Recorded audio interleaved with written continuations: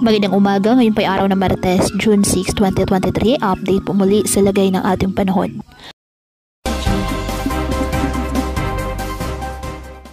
Ayon sa pag-asa, patuloy pa rin na umiiral at nakakaapekto ang southwest monsoon o habagat. Apektado po nito ang western section ng southern Luzon. Samantala, isang low pressure area ang minomonitor ngayon ng pag-asa sa loob po ng ating Philippine Area of Responsibility. Ang nasabing low pressure area ay mataas ang tsansa na maging bagyo sa mga susunod na oras at papangalan ng itong Chedeng ng pag-asa. Base sa latest forecast ng pag-asa, inaasahang lalapit ito sa may northern Luzon. At inaasahang hahatakin nito ang habagat na siya muli ang magdadala ng mga pag-ulan sa iba't ibang bahagi ng ating bansa.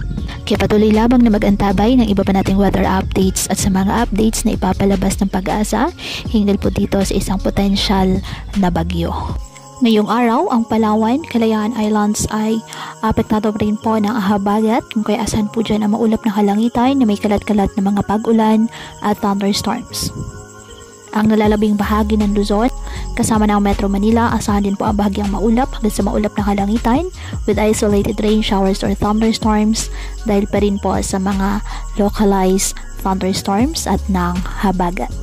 Sa Visayas at Mindanao, asa asahan naman po dyan ang fair weather condition, ngunit may chance pa rin po ng bahagyang maulap hanggang sa maulap ng kalangitan na may mga kalat-kalat na mga pag-ulan at thunderstorms dahil po sa mga localized thunderstorms. Kaya patuloy po natin na pinapayuhan ang ating mga kababayan na maging maingat at maging alerto sa mga posibleng pagbaha at landslide. At ugaliin po na magdala palagi ng payong o kahit anumang panangga sa ulan sa tuwing lalabas ng ating mga tahanan. At yan po muna ang update sa lagay ng ating panahon ngayong araw. Muli patuloy po tayo na mag-ingat at palaging tandaan God loves you. Stay safe and God bless.